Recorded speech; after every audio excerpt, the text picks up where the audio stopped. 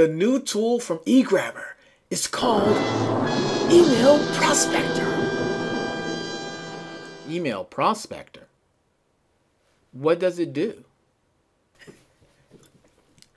You mean, what doesn't it do? With eGrabber's email prospector, I can get the contact information of any prospect on LinkedIn. I can get the contact information of any executive from a company's website.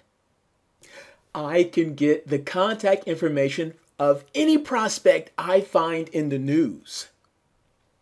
I can get the contact information of any speaker at any conference. Okay, I get the idea. It's truly a remarkable product. But there's still.